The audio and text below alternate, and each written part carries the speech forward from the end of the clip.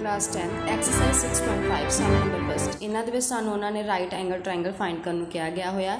Three sides ਦਸੀਆਂ ਹੋਈਆਂ ਕਿਸੇ ਵੀ triangle ਦੀਆਂ ਤੇ ਅਸੀਂ ਇਹ ਪਤਾ ਕਰਨਾ ਵੀ ਉਹ ਰਾਈਟ ਐਂਗਲ ਟ੍ਰਾਇੰਗਲ ਹੈ ਜਾਂ ਨਹੀਂ। ਸੋ ਇਹਨੂੰ ਫਾਈਂਡ ਕਰਨ ਦਾ ਇੱਕ ਸੌਖਾ ਜਿਹਾ ਮੈਥਡ ਆ ਕਿ ਤੁਸੀਂ ਕੀ ਕਰਨਾ, ਜਿਹੜੀ ਵੱਡੀ ਸਾਈਡ ਹੈ ਨਾ 25 ਸੈਂਟੀਮੀਟਰ ਉਹਨੂੰ ਤੁਸੀਂ ਹਾਈਪੋਟੇਨਸ ਮੰਨ ਲੈਣਾ, ਯਾਨੀ ਕਿ ਉਹਨੂੰ ਇੱਕ ਪਾਸੇ ਲਿਖ ਦੇਣਾ ਆ।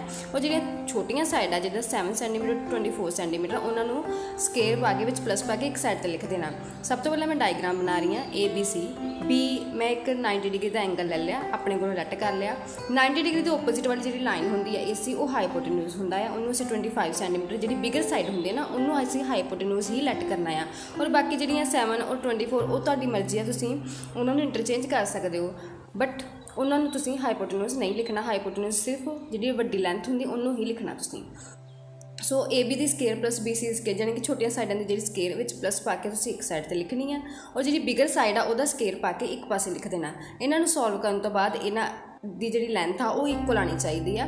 ਜਿਹਦਾ 7 ਦਾ ਸਕੇਅਰ ਉਹ 24 ਦਾ ਸਕੇਅਰ ਆ, ਉਹਨਾਂ ਨੂੰ ਦੋ ਵਾਰ ਮਲਟੀਪਲਾਈ ਕਰਕੇ ਵਿੱਚ ਪਲੱਸ ਕਰ ਦੇਣਾ। ਤੇ ਉਹ ਏਸੀ ਸਾਈਡ ਦੀ ਜਿਹੜੀ ਸਕੇਅਰ 25 ਦੀ ਸਕੇਅਰ ਜਿਹੜਾ 625 ਆਇਆ, ਉਹਦੀ ਇਕੁਅਲ ਆਣਾ ਚਾਹੀਦਾ। ਜੇ ਤਾਂ ਇਕੁਅਲ ਆ ਗਿਆ, ਫਿਰ ਅਸੀਂ ਕਹਿ ਸਕਦੇ ਹਾਂ ਕਿ ABC is right angle triangle ਔਰ ਜੇਕਰ ਇਕੁਅਲ ਨਹੀਂ ਆਂਦਾ ਫਿਰ ਇਹ, ਇਹਦਾ answer ABC is not right angle triangle ਹੋਏਗਾ। ਸੋ ਇਹ ਸੌਖਾ ਜਿਹਾ ਮੈਥਡ ਆ। ਕਿ ਜਿਹੜੀ ਬਿਗਰ ਸਾਈਡ ਆ, ਉਹਦਾ ਤੁਸੀਂ ਸਕੇਅਰ ਪਾ ਕੇ ਇੱਕ ਪਾਸੇ ਲਿਖ ਦੇਣਾ ਆ।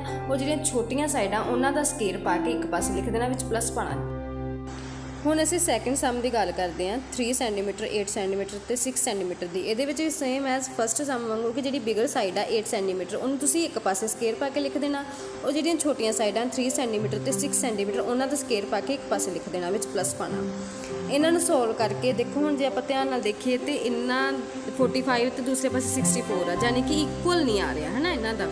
ਇਟ ਮੀਨਸ ਆਪਾਂ ਕਹਿ ਸਕਦੇ ਹਾਂ ਕਿ it is not right angle triangle so uh, ਜਦੋਂ ਤੁਸੀਂ 45 ਔਰ 65 ਦੇ ਵਿੱਚ ਇਕੁਅਲ ਦਾ ਸਾਈਨ ਉਹਨੂੰ ਨੋਟ ਇਕੁਅਲ ਦਾ ਸਾਈਨ ਬਣਾ ਦਿਓ, ਵਿੱਚ ਲਾਈਨ ਪਾ ਕੇ, ਠੀਕ ਹੈ?